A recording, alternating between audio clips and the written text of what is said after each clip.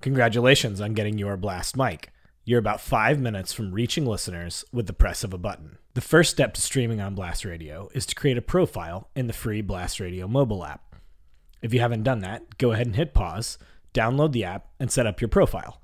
Now that you've done that, let's first get oriented with Blast Mic's inputs and outputs. The top one is a line level input. This is for incorporating any external audio sources into your stream.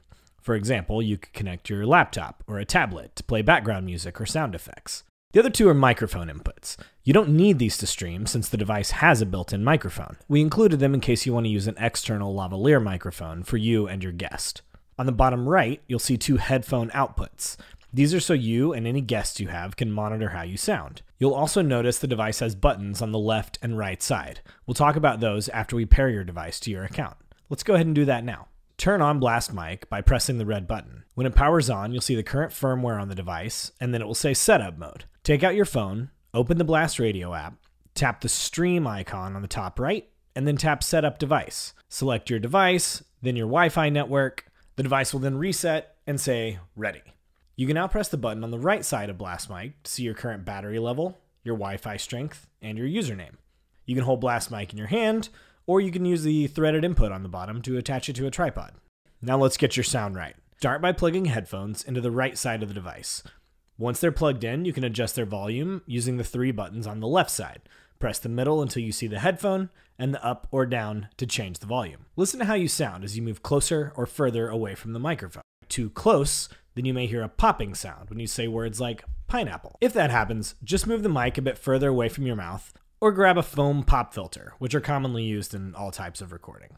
Now that you're happy with the sound coming through your headphone monitor, let's go live and check what an actual stream sounds like.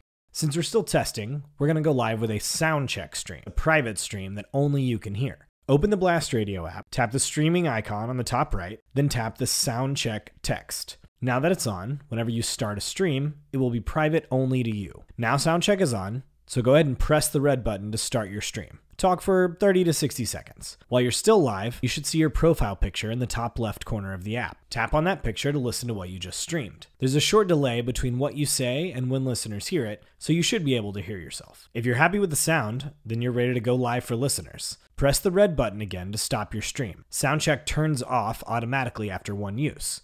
So now, when you press the red button again on Blast Mic, you'll be live for actual listeners. We suggest doing a sound check every time you join a new Wi Fi network. That way, you can confirm your connection's strong enough for a good quality stream. If you're not happy with the sound, then it's likely because either you're too quiet or you have a bad Wi Fi connection. If you're too quiet, then you can adjust your microphone gain. Do that by pressing the middle button on the left side of the device until you see the microphone logo.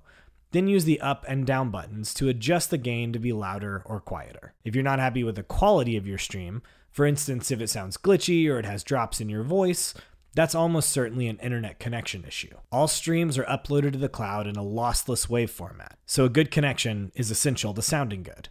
Try moving closer to your Wi Fi source or turning off any other devices that could be consuming a lot of bandwidth. Now you're ready to start streaming. Host a full on radio show, be the announcer of your favorite sports team, give daily stock tips, or cover the hottest celebrity gossip. It's up to you. Shows can be as short or as long as you want, and you can go live as many times as you want. Have fun. Happy streaming.